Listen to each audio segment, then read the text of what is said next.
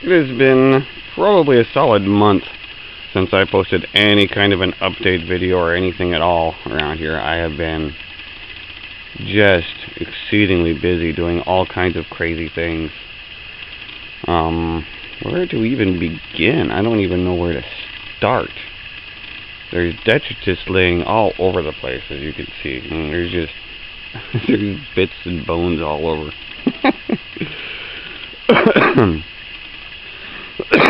Excuse me. Well, we can uh, we can pick up here uh, on a project which is in the works but hasn't gotten very far yet, which will be my Model A sedan, which I am planning. And yeah, I know. And uh, my Model A sedan currently is this. This is my Model A sedan. There's not much to see yet. I've got this old Chevy pickup front end and I've got an S10 rear end and steering box and some other random bits and pieces in there and a whole bunch of sheet metal that will eventually become a Model A sedan body. So that's that's my Model A sedan right there coming up, but I think it needs some Miracle-Gro or something because it hasn't gotten very far at all yet. It's just kind of laying in the truck. These are my chopper, which I haven't gotten very far on yet either. I am trying to find the perfect engine to build around, and I have not yet found it yet, but when I do, these will become a chopper eventually, someday. Um, as you all know, I am a writer, and I do write books. And I've got some books up on Amazon for sale and all that cool stuff there. One of my books called The Virginia 10, I have recently begun trying to get turned into a feature-length film. And I've been working my butt off trying to find shooting locations and get the screenplay finished because there's a producer who is looking at it and he says before he will even say yes or no on the project he needs two things. He needs locations to shoot at and he needs a screenplay and if I can get him both of those two things then he will probably commit to the project. So that's what I'm, that's one of the things that's been taking up a lot of my time. If you notice, there's lots of lots of the sheet metal laying around here,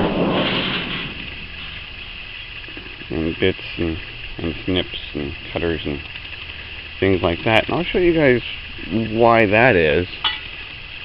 I picked up all that sheet metal from work for free. How you doing, Scrappy? You doing okay out here? Good to see. Good to see. Good, good. Good job, Scrappy. Keep it up. Scrappy is being re-engineered I'm having nothing but trouble with this front end on this thing so I am currently re-engineering this whole front end of this car in my mind and on some drawings and stuff and next spring there will probably be some pretty serious surgery going on on Scrappy so Scrappy's sitting here and Scrappy's all kinds of forlorn and de despondent and depressed and everything but that's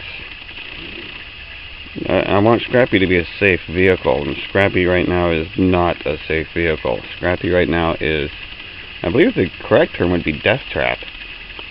So until I can get that front end to work properly and do what I want it to do, or redesign something completely different for Scrappy, that's where Scrappy's going to be, because I don't want to kill somebody.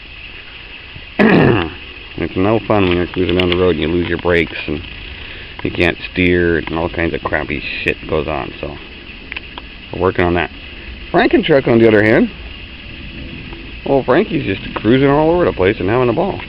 No problem stops drives turns and all that cool stuff so I'm all kinds of happy with Frankie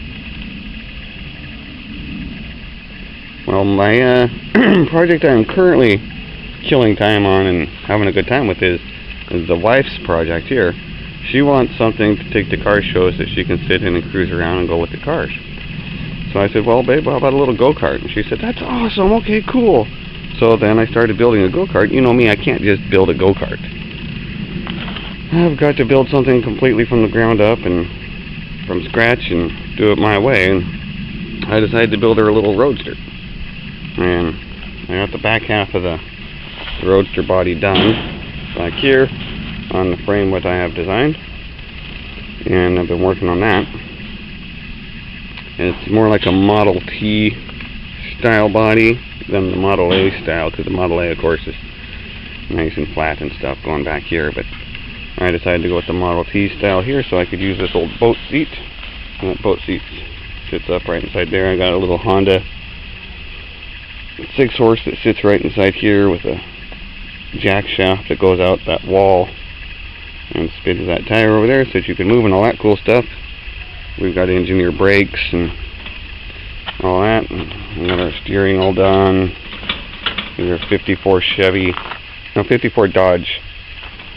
These might be, no, these are S10. These might be S10 tie rods off of a, uh, they're not really tie rods, they're um, stabilizers. Stabilizers off of a torsion bar. And that's what those are. They're kind of cool. With my uh, little fake suicide front end that I put on there and all cool stuff there. Kind of having fun. Built a steering wheel. But that's that's coming up. I'm having a good time with that. Problem with that was is motor. I had all kinds of issues with engine. I bought this little engine down here, and it was the little engine that couldn't and didn't, and it completely defeated me. So I went and I got a completely different. I got that little Honda engine, and I'm going to use that. So that's cool. Having all kinds of fun there. This is the uh, all the steel and sheet metal and all kinds of cool stuff over here that I got. We had a machine, new machine delivered at work.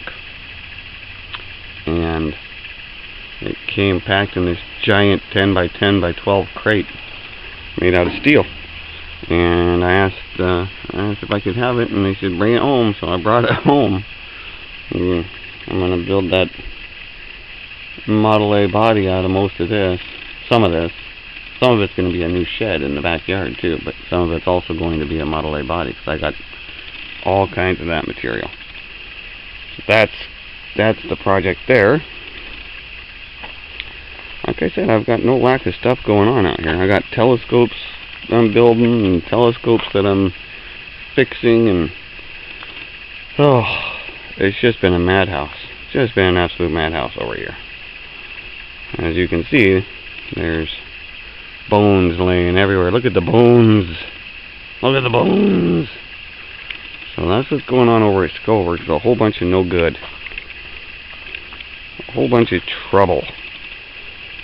Just really, uh, really busy and really swamped with all kinds of stuff and trying to get something done and kind of going half backwards and half forwards at the same time.